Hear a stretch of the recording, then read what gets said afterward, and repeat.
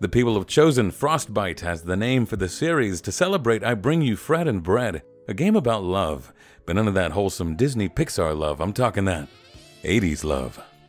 It looks and sounds passionate, romantic, endearing, and then you actually start paying attention to the lyrics and realize this song's about cheating on your spouse. This song's about cheating on your spouse. This song's about your spouse cheating on you for a change. Every song on the radio is about affairs. No wonder the divorce rates were at an all time high in the 80s and the marriage rates were plummeting. Both stalled out in 2010, but then the greatest dating game ever to be created hit the market. Portal 2 Co op, better than Tinder, Grindr, eHarmony, Christian Mingle, Farmers Are Us, combined. It's colorful, playful, two robots performing emergency maintenance. What could be more romantic? The Portal 2 co op is the jigsaw of relationships. This game wants to play a different game. Hypothetically, if only one of you could play as the superior round blue robot, who would it be? Uh, what's it like when one of you or both of you gets lost? Do you trust each other's physical capabilities, mental processes? Could they resist squishing you, even though it would be very funny to do it again after they promised they wouldn't? Maybe you should squish them first. Video games don't cause violence.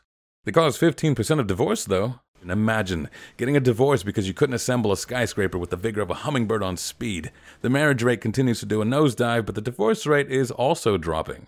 And it's because of the divorce em up genre. Portal 2 co op proved the age old adage.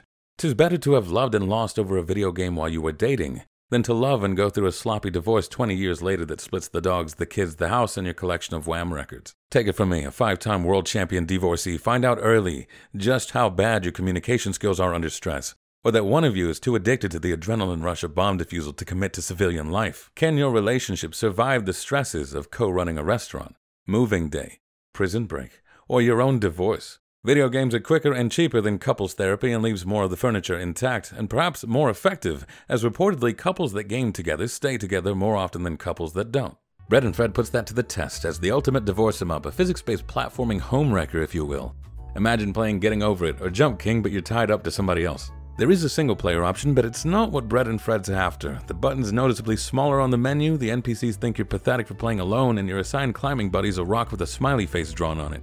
At first, I thought it was a joke and that you couldn't possibly play the game like this. Turns out I was being a games journalist, and this mode can actually be played if you haven't gotten enough castaway love. The kind of bond that forms between a human and a random object under dire circumstances, but I'm past the days of playing with myself, and I kinda soft locked the game.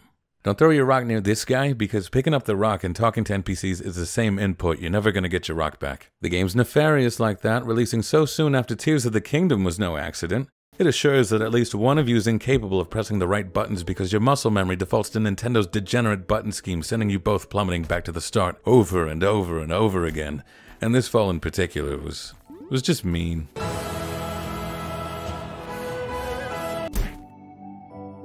My game also had a strange habit of skipping around randomly, which added yet another layer of nerve wracking tension to this already tense, dense bean dip. It's liable to snap a chip. You might even start getting mad at each other because you can't get mad at the game. Look at it. The art's too pleasant, the music's too serene, and the penguins are too cute.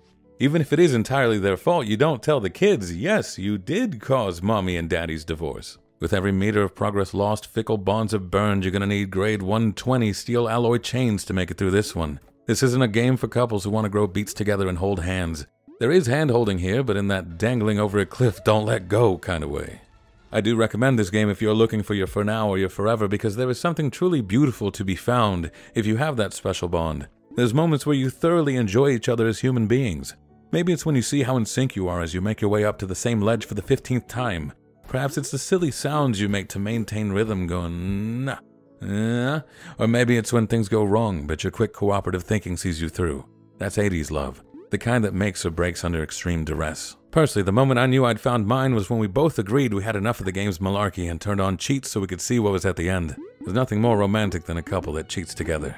That's not just 80s love, that's pina colada love.